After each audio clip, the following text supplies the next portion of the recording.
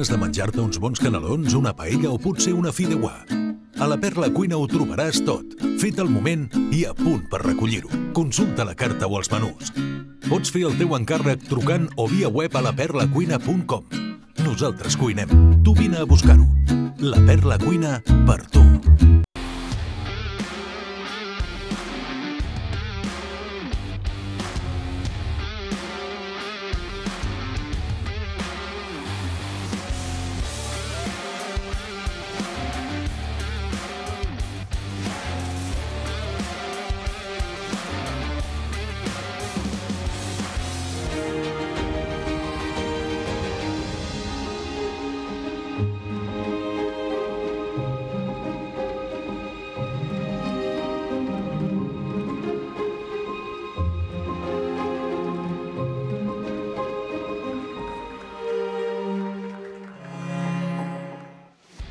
Hola, què tal, com estan?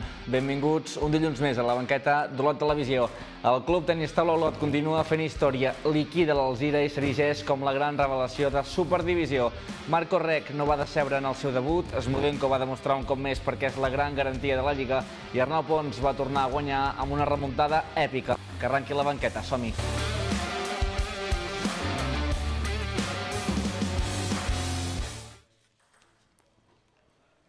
Ningú s'esperava aquest inici de Lliga. El Club Tenis Taula Olot ha tombat aquest divendres l'Alzira i ha convertit el pavelló d'esports en un fortí molt difícil de conquerir. No ha sigut un partit fàcil, i menys per l'italià Marco Rec, l'última incorporació en estrenar-se i el jugador que veuen en pantalla, que per cert confia viure una gran experiència aquest curs.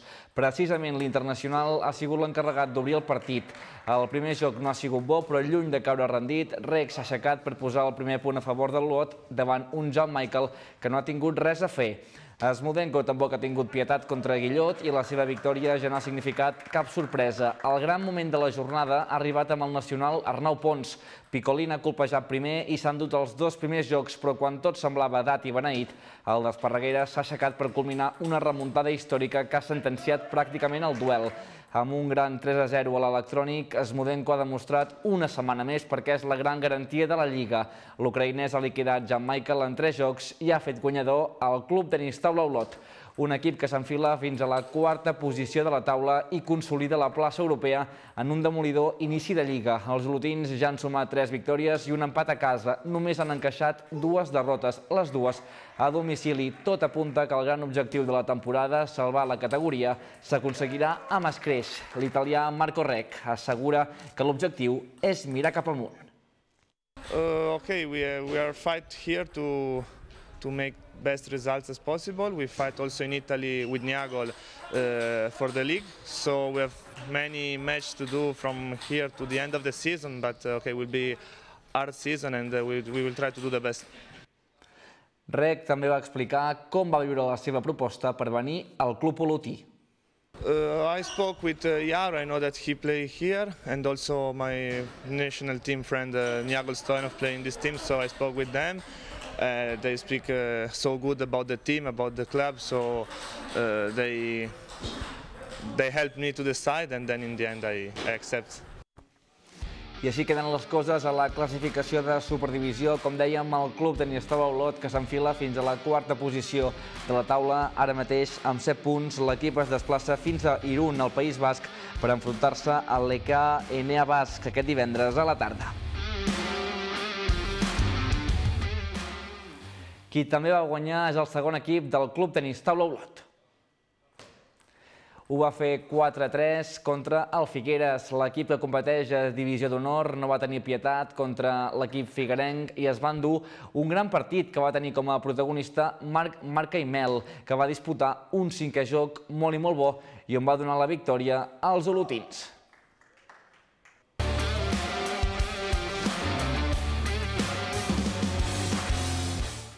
La Unió Esportiva Olot no va tenir efectivitat contra el Prat i va encaixar la primera derrota de la temporada. Aquest és el gol que Martín Lamelas va marcar en temps afegit per donar una victòria in extremis al Prat. La Unió Esportiva Olot va perdonar i això va pagar trencant la imbatibilitat aquesta temporada.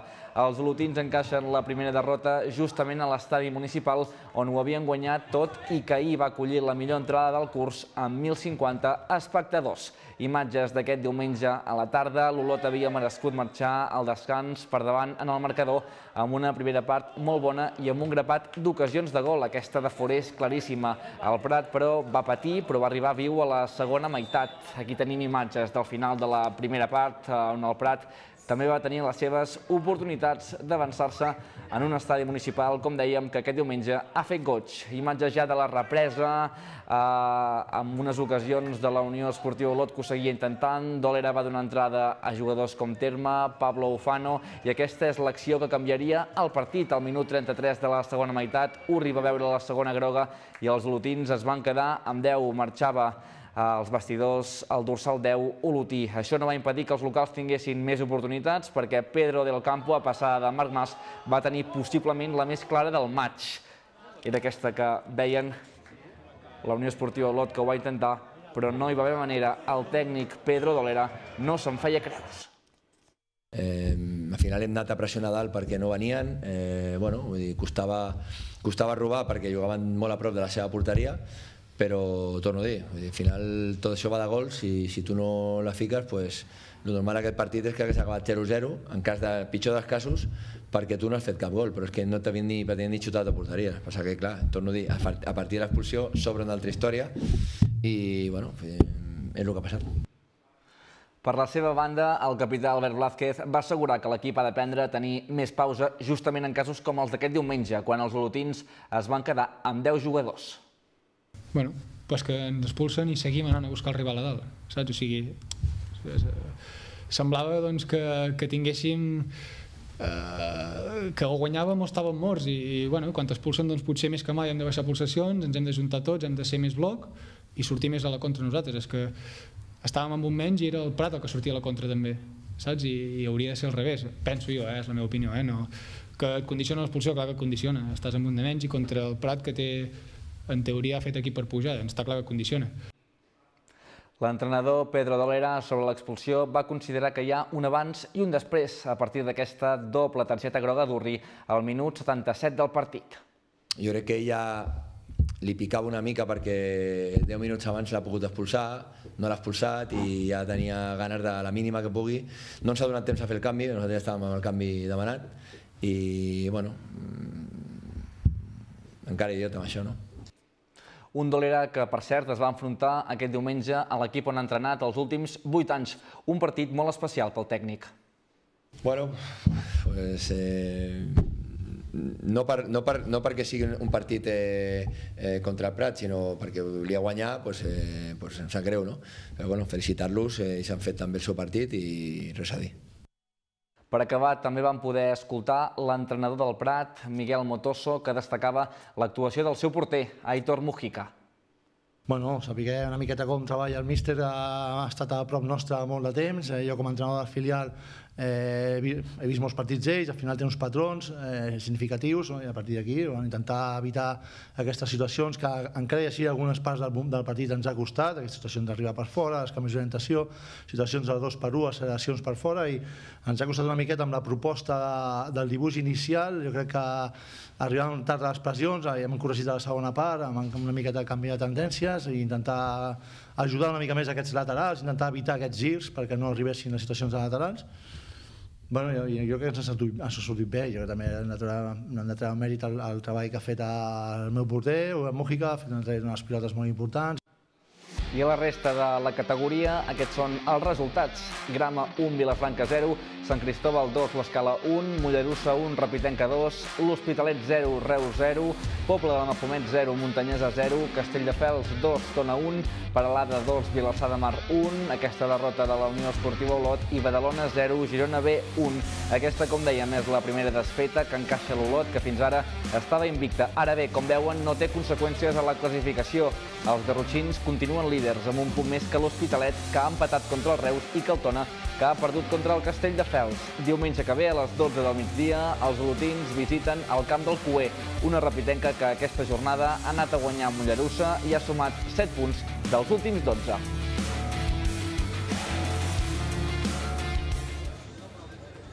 Els socis de la Unió Esportiva Olot, per cert, van poder votar durant aquest partit d'aquest diumenge contra el Prat els colors de l'equipació per a la pròxima temporada, o el color blaugrana, amb motiu de la commemoració del centenari del club, o el vermell de tota la vida. Els socis que no hagin votat ho podran tornar a fer d'aquí a dues setmanes al partit contra el Reus a l'estadi municipal. I per cert, el Banc de Sang i Teixits va acabar la campanya de donació de sang a l'estadi municipal. Ho va fer, com veuen, amb un bus a l'exterior. Una trentena de persones van aportar-hi el seu granet de sorra, tot i que, lamentablement, la donació d'aquest diumenge no va ser la més participativa.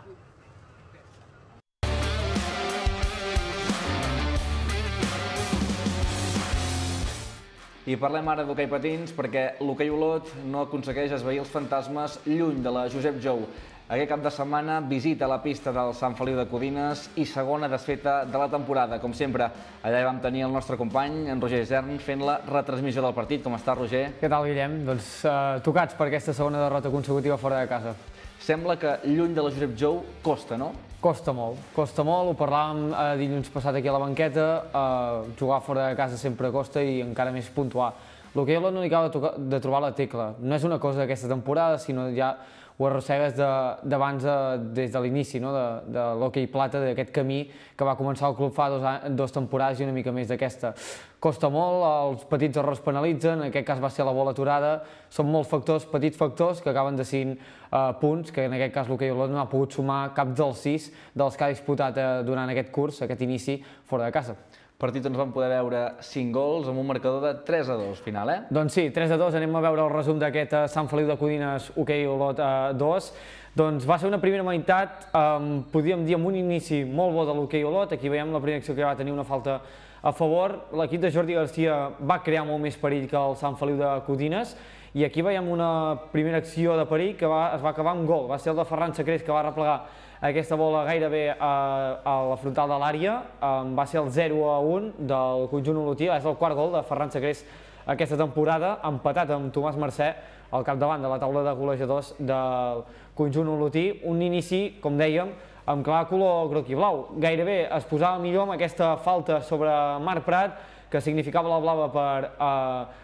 el jugador del Sant Feliu, era Cortilleres, el dorsal número 9, que veia la targeta blava i tot semblava indicar que l'hoquei Olot podia ampliar diferències, però ja sabem que la pilota aturada de moment no s'està portant gens bé amb l'hoquei Olot i Marc Prat no aconseguia marcar aquesta directa, com veiem Oriol Amer, el porter del Sant Feliu de Codines, fins a dues ocasions va aturar aquesta ocasió de Marc Prat.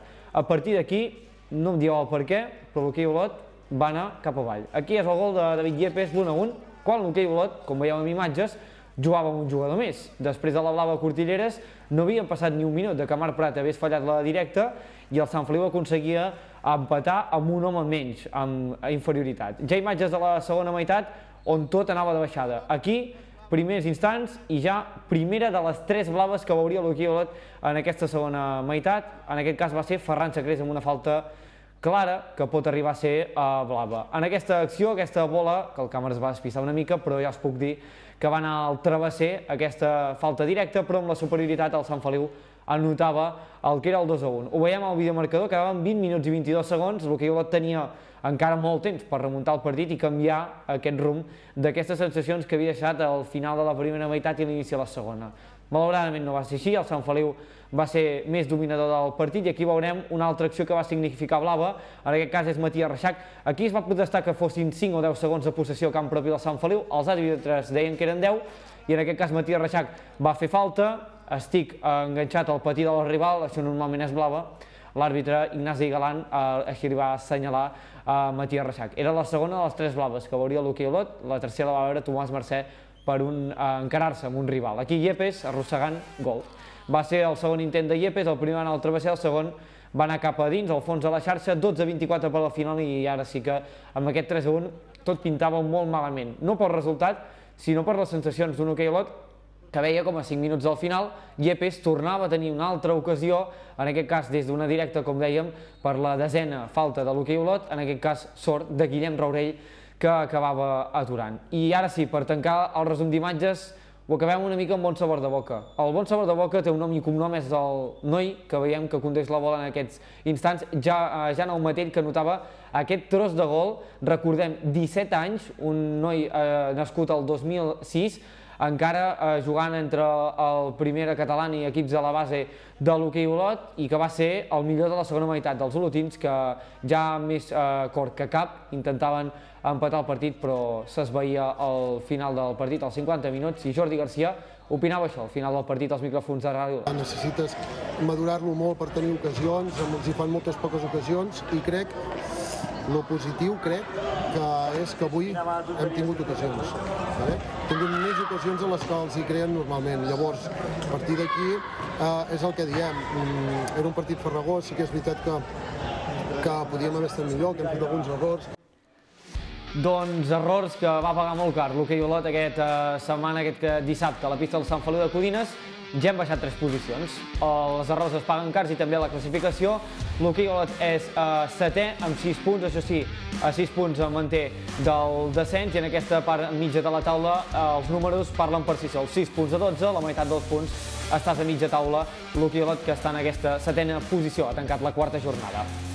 I pel que fa a l'hoquei femení, doncs tampoc gaires bones notícies. L'hoquei Olot va perdre el seu primer partit a la Josep Jou i el que significa el primer partit de la temporada. Ho va fer ni més ni menys contra el líder, el Palau de Plegamans, aquest diumenge a la tarda per la mínima 1 a 2.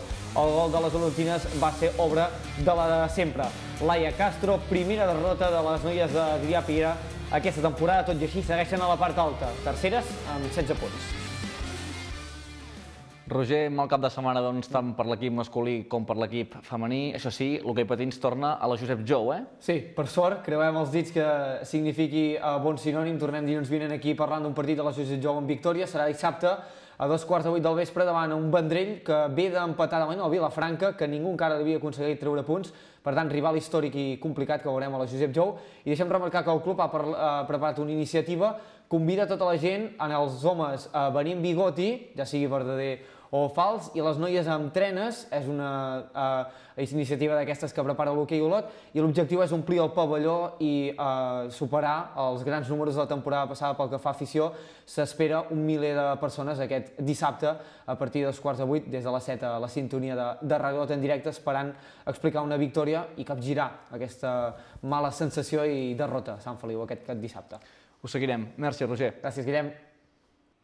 Parlem ara de futbol territorial perquè a primera catalana el Bosa Tosca es va quedar a les portes de puntuar al camp del Cardedeu. Els locals van dominar tota la primera meitat i van trobar el premi just abans del descans amb un gol olímpic, un autèntic golaç des del corna. A la represa, el Bosa Tosca va crear més ocasions, però els d'Àlex Ferrés i Frank Dorca no van poder remuntar el gol de Gerard Beltran. I aquests són els resultats a la resta de la categoria. Bascanó 4, Roses 1, Argentona 3, Mataró 0, Montcada 0, Can Givert 2, Parets 3, Blanes 0, Begú 1, Banyoles 2, Tossa 1, Maller 1 i Caldes de Montbui 3, Mollet 0. I així queden les coses a la classificació. El Bosa Tosca que endarrereix la seva posició fins a la novena posició de la taula, ara mateix a novena posició, com dèiem, amb 13 punts, el Bos de Tosca. A la segona catalana destaquem aquesta derrota del Sant Jaume Olot B al camp del Farners, el filial de la Unió Esportiva Olot, que va encaixar una nova desfeta, en aquest cas a domicili. I a la classificació, així queden les coses de la segona catalana. El filial de la Unió Esportiva Olot, que de moment continua ocupant la zona mitja de la taula, ara mateix el desè lloc en 12 punts. I a tercera catalana vam ser presents al derbi entre l'escola de futbol Garrotxa i el Sant Privat d'en Bas, un derbi que es va acabar enduent el Garrotxa per 4-2. Eric Gispert va avançar als locals al minut 6, però dos gols del Sant Privat, un d'Adrià Pagès al 25 i un altre de Niol al 41, van capgirar el marcador. A la represa, però, els locals van fer valer la seva llei. Adrià Andorell al minut 60, Saliu Fati al 71 i Miquel Gaïns al 78 van certificar una gran victòria per a l'escola de futbol Garrotxa. Així valoraven el partit els seus tècnics. Sí, ja, els derbis sempre són partits, eh, partits especials eh, i la veritat és que el Sant Privat venia en un molt bon moment, estaven molt ben classificats. Eh, tenen, com s'ha vist, tenen un bon equip, i molt competitiu i, i jugant bé a futbol. Era important, perquè els derbis sempre són especials, eh, sempre tothom dona un plus i sí, sí, eh, bueno, al final eh, hem tingut la sort o la fortuna o l'encert de, de guanyar. Vaja, és un partit, eh, era un, ha sigut un partit molt obert. No, la veritat és que no, la veritat és que avui no sé si ha estat eh, una mica el ritme que portem últimament entrenant, perquè eh, eh, tenim bastantes baixes i, i ho estem acusant una mica ja, perquè hem, hem anat aguantant, però, però jo crec que no és excusa, però ho estem acusant una mica. I res, no sé què ha passat avui, la veritat és que l'equip no ha estat, ens ha faltat molta intensitat des de bon inici, eh, ens ha costat molt posar-nos a l'equip, hi ha hagut jugadors que no, no han entrat a, en el partit, i això ho hem notat molt, ho hem notat molt perquè la Garrotxa té individualitats boníssimes, tenen molt de nivell, i quan els hi deixes espai i, i no estàs intens, doncs te, te, et foten un problema sempre.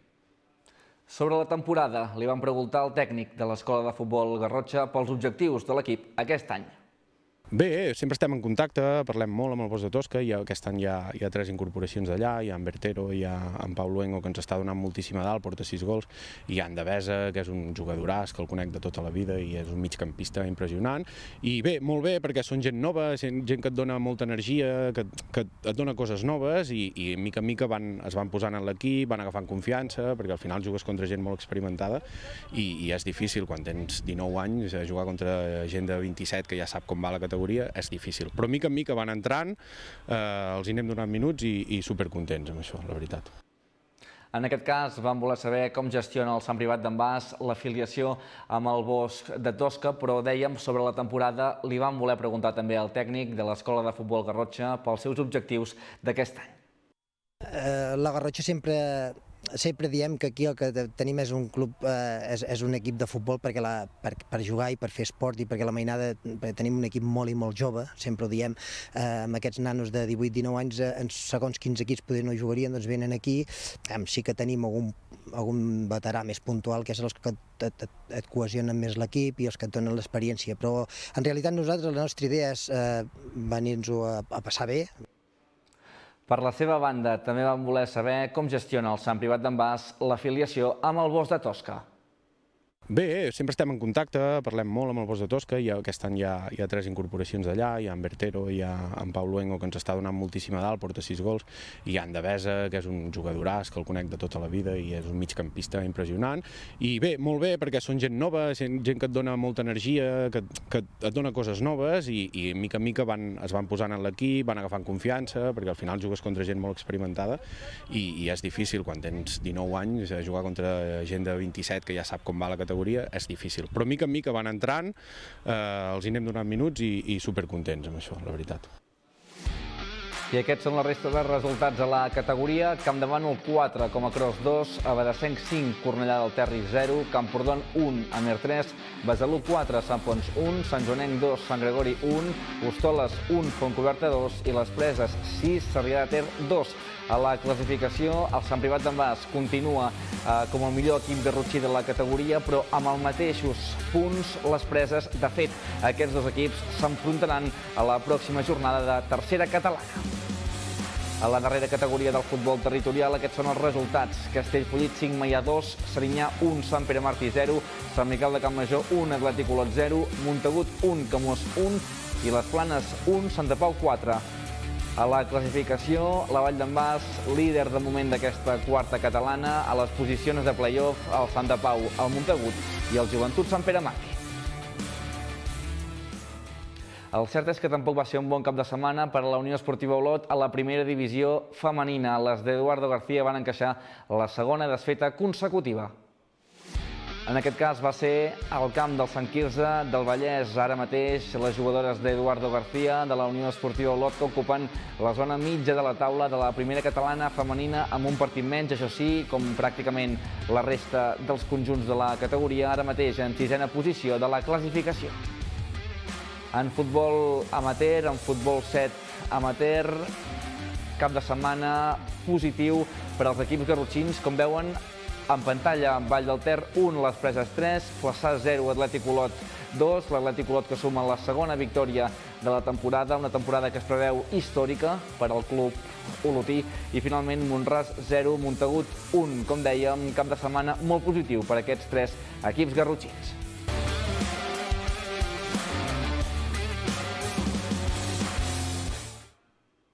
El 29è trofeu memorial Raül Ramos va omplir la piscina de competició del Club Natació Olot aquest cap de setmana de 350 nedadors en una de les seves edicions més multitudinàries dels últims anys. Imatges d'aquest dissabte, com dèiem, a la piscina de competició del Club Natació Olot, en una jornada que va obrir les cinc competicions que formen el circuit Girosona, on els clubs que en formen part i també d'arreu de Catalunya i Espanya participen amb els seus millors esportistes olímpics, internacionals amb Espanya, participants en campionats europeus i diversos recordistes nacionals. Com dèiem, aproximadament 350 nedadors de 18 clubs d'arreu de Catalunya, destacant la participació de clubs històrics i punters com el Club Natació Sant Andreu, el Club Natació Barcelona o el Club Natació Terrassa van prendre part al llarg de la jornada de les diferents proves eliminatòries i finals. L'anècdota d'aquesta edició de 2023 va ser que en la final dels 50 metres masculina entre Sergi Castells del Club Natació Barcelona i Alberto Lozano del Club Natació Terrassa, els dos nedadors van obtenir un empat tècnic a l'aigua amb un temps de 22 segons i 81 centèsimes. Lidon Muñoz del Club Natació Sant Andreu va aconseguir la millor marca general femenina en els 50 metres lliures amb un temps de 25 segons i 13 centèsimes. Evidentment, aquest és aquest, i la prova és que avui a l'aigua hi tenim eh, dues eh, nedadores júniors eh, dels europeus, que s'han classificat pels europeus, una de les quals és de Banyoles, l'Aina Fernández. Tenim eh, dues nedadores olímpiques del Club Natació Sant Andreu, Tenim l'Alberto Lozano com a nedador masculí internacional de fa molts anys i tenim precisament un mundialista que s'ha classificat pels campionats del món de Doha aquest any que ve, 2024. Per tant, eh, el circuit té molt bon nivell i en concret el Raúl Ramos doncs, ha constatat que aquest any hi tornen a haver tots aquests esportistes internacionals que li donen una qualitat doncs, molt important. El Club Natació Olot hi va participar amb un total de 18 esportistes, 5 en categoria masculina i 13 en categoria femenina. Els nedadors i nedadores del club van obtenir un total de 10 medalles, un or, 7 plates i dos bronzes. La presidenta del club, Gemma Soy, ha destacat el gran nivell que hi ha a l'entitat. Sí, a rècord de participació i una llista llarguíssima que s'ha de dir que els nostres esportistes de Girona i Osona no hi desentonen gens. Uh, L'Aina Fernández, que és una de les europeistes, és del Club Natació Banyoles, la Júlia Coll és del Club Natació Olot, uh, estem fent moltes finals aquesta tarda, la gent de Girona i d'Osona, per tant vol dir que allò que va néixer fa ja uns 10 anys com a circuit, no, de, no com a Raúl Ramos, sinó com a circuit de Girosona, per tal que els nostres nedadors poguessin competir amb, amb esportistes de primer nivell internacionals, està donant els, els seus fruits. Aquests no són els únics resultats del cap de setmana.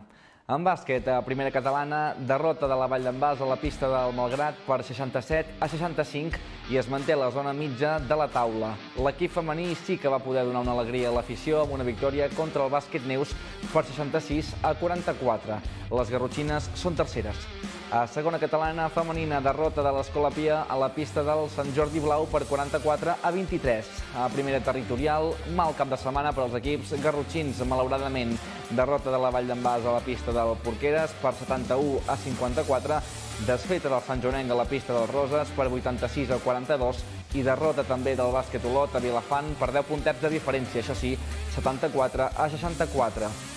A la primera territorial femenina, el Sant Joanenc es col·loca líder de la taula amb la victòria davant el Vilablareix per 55 al 46. La Vall d'en Bas cau a la tercera posició amb la desfeta casa contra el Sant Gregori per 38 a 54.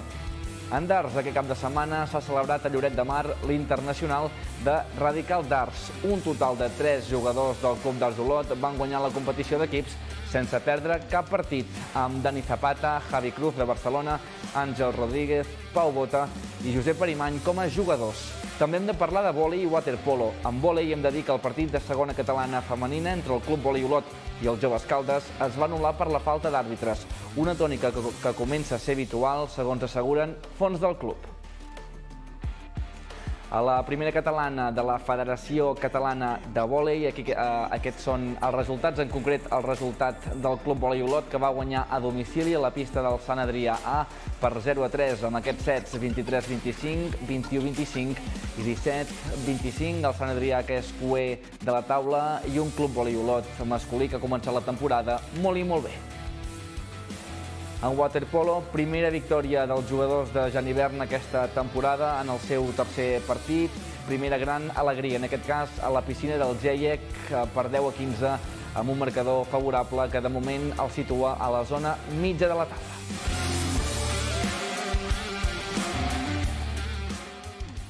Això és tot per avui. Nosaltres ens acomiadem, però tornarem el divendres per parlar del cap de setmana. Que vagi molt bé, adeu-siau i gràcies per la confiança.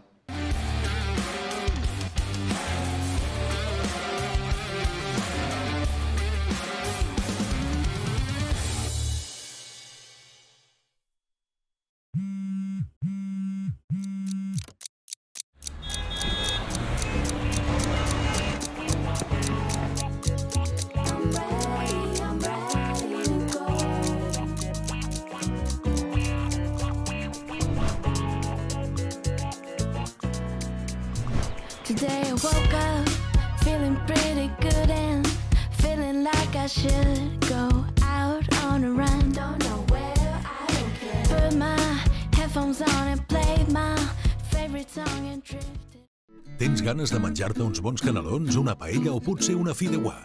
A la Perla Cuina ho trobaràs tot, fet al moment i a punt per recollir-ho. Consulta la carta o els menús. Pots fer el teu encàrrec trucant o via web a laperlacuina.com. Nosaltres cuinem. Tu vine a buscar-ho. La Perla Cuina per tu.